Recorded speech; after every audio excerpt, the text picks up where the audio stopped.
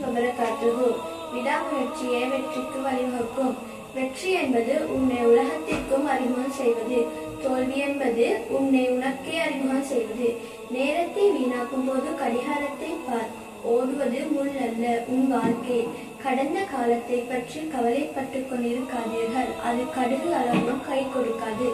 சுழற்சி செய்ய தாங்காது. முயலும் போது உன்னை மு- முட்களும் முத்தமுடும். வெற்றிக்கும் தோல்விக்கும் வித்தியாசம்தான் கடமையை செய்தால் வெற்றி கடமைக்கு செய்தால் தோல்வி. கடினமான வாழ்க்கை என்றால் நம்ம வாழ்க்கையை உயர்த்தும் சந்தர்ப்பங்கள் என்ன அதிகரிக்கும் கஷ்டங்கள் மட்டும் இல்லை என்றால் போராட்டம் என்னமே எமக்கு இல்லாமல் போய்விடும் பிறப்பு இறப்பு மட்டுமே நம்மை தேடிவிடும். மற்றவரை நாம் தேடி அல் செல்ல வேண்டும். உங்களின் பாதையை நீங்களே தேர்ந்தெடுங்கள். ஏனெனில் வேறு எவராலும் உங்கள் கால்களை கொண்டு நடக்க முடியாது. உன்னால் சாதிக்க இயலாத எந்த காரியம் ஒன்று எதுவும் இருப்பதாக ஒருபோதும் நினைக்காதே. வாழ்க்கை என்றால் வழிகள் இருக்கும். வ- வழிகள் இருந்தால்தான் வாழ்க்கை இனிமையாகும். இத்தோடு என் பேச்சை முடிவடைகின்றேன். நன்றி.